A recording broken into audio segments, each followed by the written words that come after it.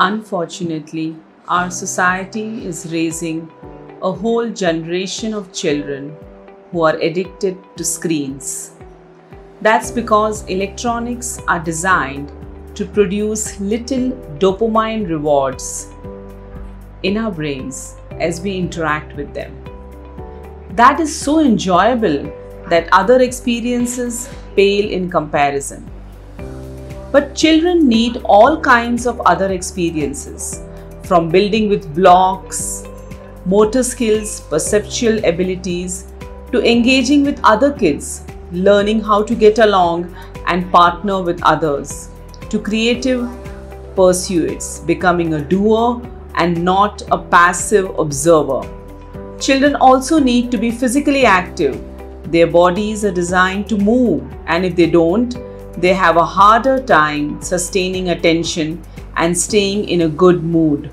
That's why it is essential to limit screen time.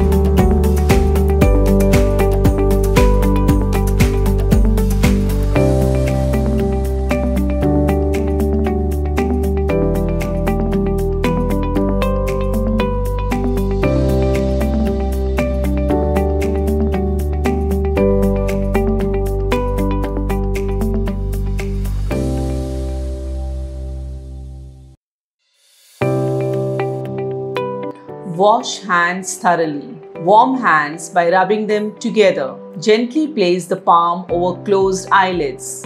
Repeat three times. Open your eyes wide and then blink rapidly about 10 times. Close your eyes for about 20 seconds and repeat. Hold the pencil at arm's length at eye level and focus on the tip of the pencil. Slowly move the pencil closer to the nose while focusing on the tip until the image doubles. Hold the pencil in this position and refocus on the tip while blinking. Then slowly extend the arm while focusing on the tip. Relax and repeat 10 times in the morning and 10 times in the evening. Stretch one arm to the front and one arm to the side. Close the fist with the thumb pointing upward at eye level. Alternatively, focus on the tips of the two thumbs without moving the head. Repeat on the other side. Extend one arm and bring the other arm close to your nose. Make a fist with the thumb pointing upward at eye level. Alternatively, focus on the tip of the thumb away from you and close to you. Make a fist and stretch your arm out to the front while the thumb pointing upwards at eye level. Rotate your arm while focusing on the tip of the thumb while the head held still.